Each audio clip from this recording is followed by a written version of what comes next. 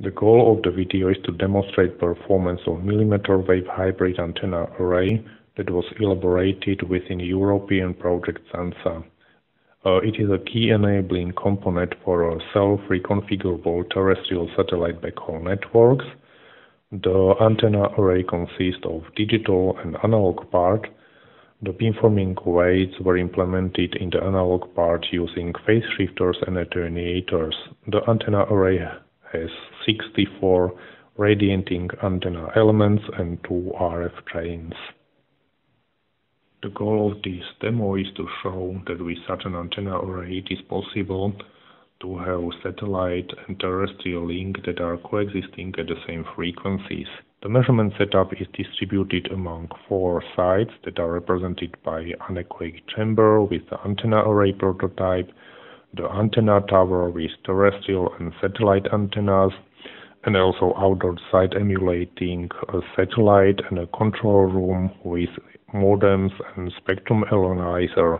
The spectrum analyzer can show signals that are impinging in the tower. Uh, these four sites will be now uh, shown in the following. Here we are the tower. Here we can see the terrestrial antenna, which is here, and here is the satellite antenna of the VSAT.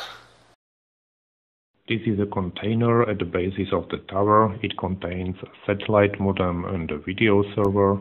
The video server uh, can stream a video to the control room just over the air using the satellite link. There is no other Ethernet connection with the control room.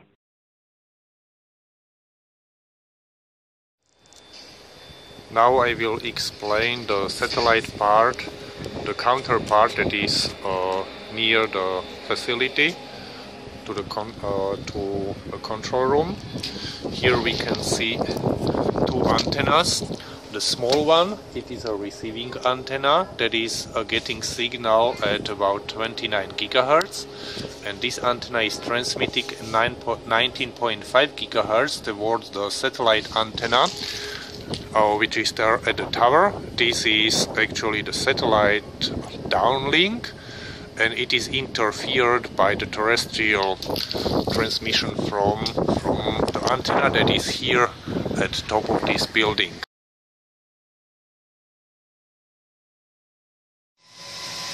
Now we are in the anechoic chamber. It is uh, one side of the terrestrial link. We can see here there is antenna array. Uh, it is its analog part that is uh, doing uh, just a beam steering. It is mo mounted on the motion emulator, which is uh, changing the position, the direction of the antenna array.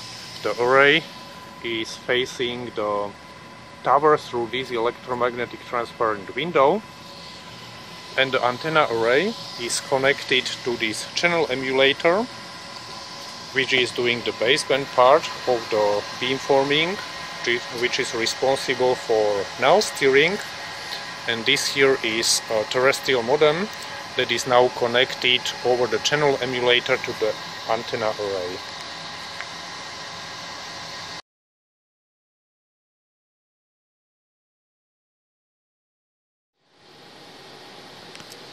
Now we are in the control room where we have server, this here, which is controlling the spectrum analyzer.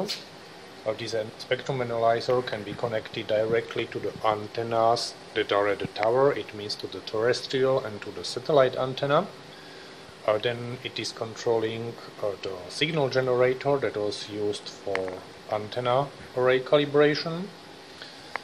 Later on we have here a terrestrial modem, this here, this modem is directly connected to the terrestrial antenna that is at the tower and it is transmitting using this cable a signal to the second terrestrial modem uh, that is in the anechoic chamber uh, which is connected to the antenna array.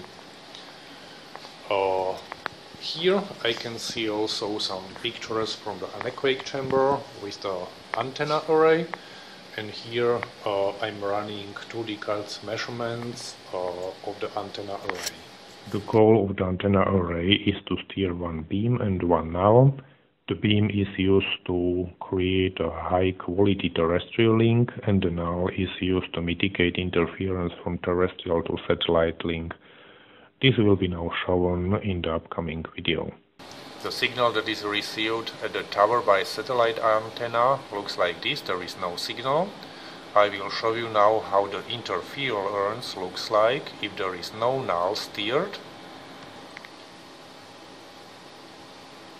This is a spectrum of interference coming from terrestrial transmitting antenna array without null. I will try to establish the link now. So now I'm switching the satellite transmitter on. The power of the signal received at satellite antenna looks like this. It is completely hidden by interference. And now I will try to run JPerf and we can see there is no connection so now I have adjusted antenna array and the channel emulator to emulate a hybrid beam and null steering. And now we can see spectrum that is received at the satellite antenna. It is only the terrestrial interference. And we can see a deep null uh, at the carrier frequencies. However, this null is quite narrow at the sides of the of this band there is still enough interference to interfere with satellite signal. That's why I have changed the symbol rate to have signal that is much narrower in this uh, area where we have a nice now. Now I will switch on the satellite transmitter. So I'm switching the satellite transmitter. We can see null at the spectrum analyzer interference together with the signal from the satellite transmitter and now I will try to establish again a link using JPerf. So I'm starting JPerf and now we can see that we have a link and transmission that has about 6 to 9 kilobits per second.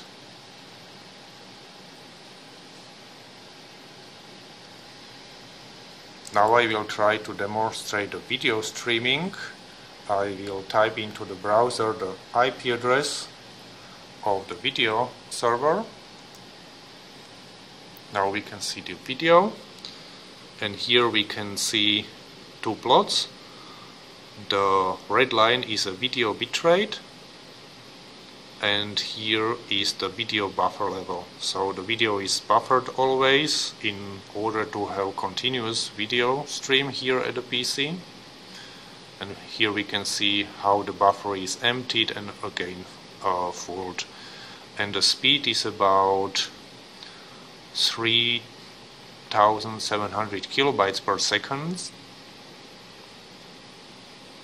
and is selected according to the quality according to the throughput of the satellite link.